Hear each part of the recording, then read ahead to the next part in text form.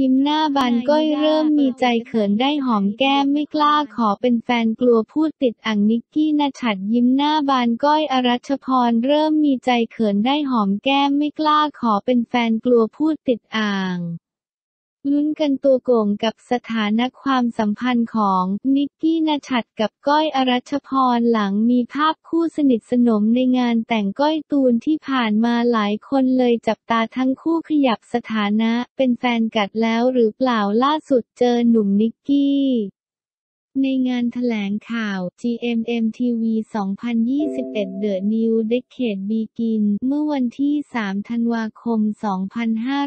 2563 นักแสดงหนุ่มเผยอย่างอารมณ์ดีว่าสาวก้อยเริ่มมีใจให้ตนแล้วหลังเดินหน้าจีบมาพักใหญ่ตอนนี้เร่งทำคะแนนอยู่แถมยังเข้าทางแม่ฝ่ายหญิงด้วยสรุปมีแฟนหรือยังไม่มีแฟน ยังไม่มีเลยครับที่ไปถ่ายรูปด้วยกันงานพี่ตูนครับ จริงๆ ไปด้วยกันครับ เพราะผมไม่มีเพื่อนก็เลยต้องไปอยู่กับนัตตี้กับวีกับก้าวแต่นอกจากนั้นพี่ตูนก็ยังมีงานอื่นที่เขาไปกันเป็นคู่คู่ก็มีเรากับก้อยเขาก็เลยบอกว่านี่ก็เป็นอีกคู่หนึ่ง จริงๆ ก็ไปนัดกันไปครับไปด้วยกันแต่ไปถ่ายรูปกับพี่ตูน ไหนพี่ตูนเราเข้าไม่ถึงเขาเราก็ไปต่อคิวถ่ายรูปกันเป็นชั่วโมง พอถึงคิวผมจะหมดรอบแล้วก็เลยต้องวิ่งไปถ่ายรูปรวมกันแล้ว ผมจะถ่ายรูปกับก้อยด้วยเห็นว่าน่ารักดีก็เลยแนบเข้าไปด้วย หรือความสัมพันธ์ขยับ นิกกี้ก้อยร่วมงานแต่งพี่ตูนคนโฟกัสรูปคู่สุดแนบชิดตอนถ่ายรูปเราคิดอะไรไหม คิดว่าน่ารักยังไม่ใช่แฟนคือยังไม่รีบ ผมก็ไม่รีบเขาก็ไม่รีบให้เขาทำงานก่อน เพราะเขาทำงานเยอะ แต่จีบเขาจีบมาตลอดจีบเรื่อยๆ ชวนเขากินข้าว ถ้าเป็นแฟนเดี๋ยวผมบอกเลย เพราะเป็นแฟนมันต้องมีการขอถูกไหม เล่นซีรีส์ด้วยกันมีฉากหอมแก้มเราเขินไหม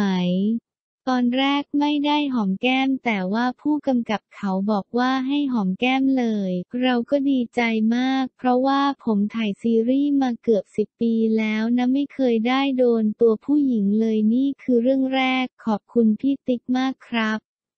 เขาก็เพิ่มบทให้มาก่อนผมนิดเดียวเองมานิดนิดหน่อยหน่อยจนตอนหลังเขาเพิ่มให้ดีใจได้ตังเพิ่มถามว่าตอนถ่ายเขินไหมเขินครับหอมแก้มก็ต้องเขินสิ ความสัมพันธ์ชัดเจนขึ้นไหม ผมก็จีบเขา แต่ถ้าผมขอเขาเป็นแฟนเดี๋ยวผมบอก แต่ตอนนี้ยังไม่ได้เป็นแฟนให้เวลาเขาก่อน ไม่อยากรีบไม่อยากไปแล้ว กลัวแบบว่าเขายังไม่เต็มใจหนึ่งร้อยเปอร์เซ็นแล้วเราขอเขาอึดอัดไง รอเรามั่นใจว่าเขาหนึ่งร้อยเปอร์เซ็นต์ก่อนดีกว่าตอนนี้ก็ทำคะแนนไปเรื่อยๆ แสดงว่าเรากลัวตอนที่ไปขอ คือเอาความจริงผมก็ยังไม่รู้เวลาที่เขาพูดออกสื่อเขาก็ไม่ได้ว่าเต็มหนึ่งร้อยเปอร์เซนต์ไงตัวผมเองก็ยังไม่มั่นใจเลย แต่คนคุยคนกินข้าวยังไม่ชอบเราหนึ่งร้อยเปอร์เซนต์นะถูกไหม คือเราชอบเขาเรามั่นใจอยู่แล้ว แต่ว่าสมมุติเธอเป็นแฟนกันนะ โอเคจะคือเรายังไม่มั่นใจกลัวเขาตะกุกตะกักไง ที่เราคุยกับเขามีเคมีความรู้สึกไหมว่าเขาก็ชอบเราแหละมีเคมีเขาก็มีใจแหละผมว่าดีขึ้น เขาโทรมาหาเราบ่อยแค่ไหน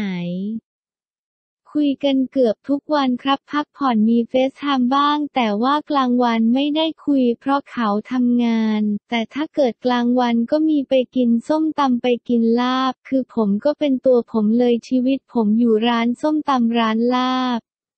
ถ้าผมจีบจริงผมพาไปกินโอมาเกษตรคือผมสร้างภาพเลยนะ เวลาคุยกันก่อนนอนประโยคสุดท้ายก่อนวางคืออะไร กูดไนท์เบบีหัวเราะล้อเล่นๆ เวลาคุยกันแทนตัวกันว่ายังไง พี่กับหนูเขาเด็กกว่าผมไง มีเทปหนึ่งที่ก้อยโทรเข้ามาในรายการเราความจริงคือผมโทรไปหาเขาก่อนแล้วเขาโทรมาหาผมพอดีตอนถ่ายรายการกับเอสตอแค่นั้นแหละครับ เขามีอาการหึงหวงไหม เขาน่ารักมากพี่เขาไม่หึงหวงเลยเขาก็บอกให้ผมไปเที่ยวนะสมมุติผมงานเยอะหลังๆไม่ได้ไปเที่ยวผับเขายังถามผมเลยว่าไปเที่ยวกับเพื่อนบ้างไหม ไปเจอเพื่อนบ้างไหมแต่เราก็เกรงใจเขาเองเรากลัวไปแล้วหลุดเราเลยไม่ไปดีกว่า ก็มีการปรับเปลี่ยนตัวเองเพื่อเขาเหมือนกัน ใช่ครับ เพราะกินแล้วกรึ่มกรึ่มก็ต้องกลับบ้านแล้ว ไปไหนมาไหนต้องมีการขออนุญาตไหม ก็บอกครับพี่ปลายปีนี้จะขอเขาเป็นแฟนไหม ยังไม่ได้ได้ของอย่างนี้ต้องใช้ feel นะตอนนั้นเตรียมไม่ได้เดี๋ยวติดอ่างต้องใช้ feel อยากขอเดี๋ยวขอ ไปถ่ายคลิปกับแม่เขาด้วย ใช่ครับแม่เขาก็น่ารักครับ ตอนเขาเจอใหม่ใหม่เขาก็ยังเกรงเกรงเพราะว่าเขาไปอ่านข่าวเยอะ เพราะคนด่าผมเยอะไงในเฟซแม่เขาอ่านเยอะเขาก็คล้อยตาม แต่ตอนนี้เขาดีขึ้นแล้วครับ แม่ถามใหม่ว่าจีบลูกสาวเขาหรือเปล่าเขาเคยถามไปแล้วครับ ก็บอกว่าผมจีบลูกแม่ครับ แต่เขาก็ไม่ได้ว่าอะไร เพราะเขาบอกว่าก้อยโตแล้วให้ก้อยคิดเอง